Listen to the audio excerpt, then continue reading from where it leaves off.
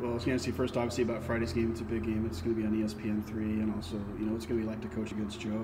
Yeah, it'll be interesting. I don't know uh, quite exactly how I'll feel going out there. It'll just be great to see him, catch up with him on Thursday night. Uh, mm. I know he's having a great time coaching the women's team down there. He's mentioned how much fun he's had getting back into the game after being out a couple years, and mm. I know the kids are absolutely loving playing for him. And they'll be uh, spirited and ready for us. I imagine the intensity has been picked up a little bit down in Hanover this week for a week of practice to play us in Clarkson. Mm. Um, also, you know, with Matt uh, being a former player, uh, you know, he's got two former players coming into town to coach against them. Yeah, I was going to ask. I was just curious how much everybody learns things from different people, but what you do now yourself as a coach, how much of what you do is stuff you kind of picked up from Joe? I mean, if you had to guess, like percentage wise or whatever, like is it, you know?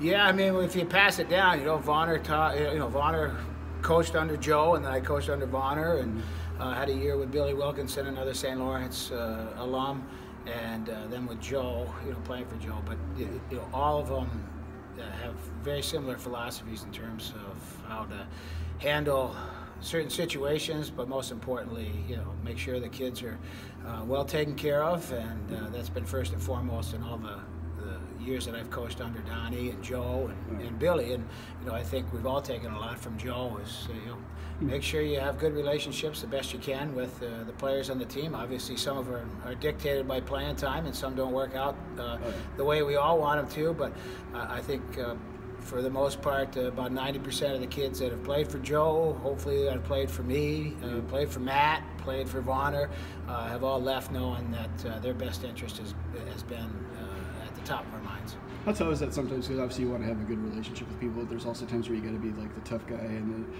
disciplinarian. How tough is it to kind of have that balance where you you know you're not letting them walk over you, but you also have the, you have them enjoy playing for you, kind of thing. Right. I mean, I, I, think the biggest thing is that you try not to make your relationship based on playing time, and yeah. uh, I think any relationships that are based on playing time aren't going to go very well yeah. uh, because that's you know almost uh, like getting a, a, new pair of sneakers. Things re- they wear out after a while. I think you got to delve a little bit deeper and uh, create a little bit more of a relationship.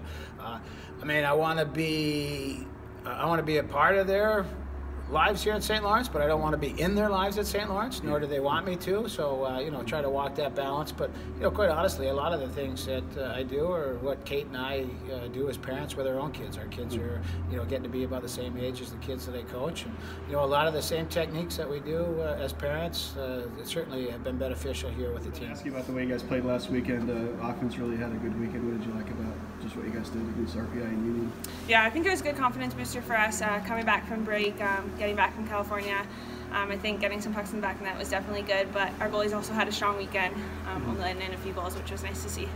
I know obviously every team wants to win every game they play, but this stretch of the year, do you guys kind of feel like that's kind of a given just with how competitive it is to get move up in the pairwise and stay in your spot in the ECAC and all that?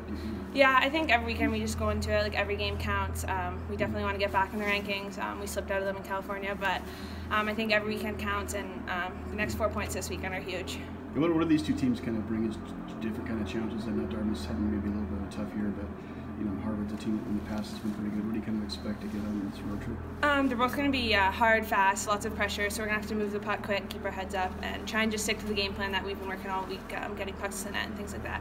Yeah, I think I was going to ask you real quick was, uh, was it kind of weird when you were in California, you didn't have Hannah on your line? Is it kind of a strange experience to play a game without her? Yeah, I played a bit of center, which was kind of weird, um, but everyone was good. We all jumbled the lines. Everyone was playing with everyone. It was kind of fun mm-hmm. to experience playing with everyone on the team. Um, yeah, but it was a good trip for us. First off, I was going to ask you about getting your first career goal last week. Uh, what was your reaction when you saw that go in? Um, well, it was kind of unexpected. It kind of yeah. trickled in, so I was really excited. I probably screamed as loud as I could when I ran after Panda, so it was really exciting at every level of hockey, obviously that's a big deal. Uh, as a freshman, the longer the season goes, do you start to wonder, like, when am I going to get this thing, or are you just kind of willing to wait it out and see? well, more like everything comes as you work hard, so it was just a matter of time, I think, because I was trying to work my hardest. So. What's been like the biggest adjustment to, to, to, this level for you? Like, what have you noticed when you first got here that's different from where you were a year ago? First got here, probably skill. Yeah. Everyone's a lot better, and that's the greatest thing because then you can learn to be better yourself. Yeah. I was wondering too, like some of the veteran players, is anybody that's really gone out of the way to help you out, or somebody that you just kind of watched yourself to kind of learn from, or anything like that? Um, every single one of them. I yeah. try and take a piece of every single one's skill and try and work it into mine, maybe, or try and incorporate it in my playing of my game. I was wondering too about uh, just the puck. Like, what did you do with the puck from your first goal? It's in my cell. I was going to ask you lastly just about you know this weekend coming up. Uh, these are places obviously the freshman year, every trip is new. What are you kind of looking forward to going to Dartmouth and Harvard? I always take like something uh, I've seen there and like you know kind of remember it as a place Yeah. in my head. What's been your favorite like road trip so far? Is there any rink that you really thought was a neat rink or just Um, fun? probably going to California Oh, yeah. this past Christmas break. That was so much fun going to the Anaheim rink. Oh, yeah. All right, well, thanks.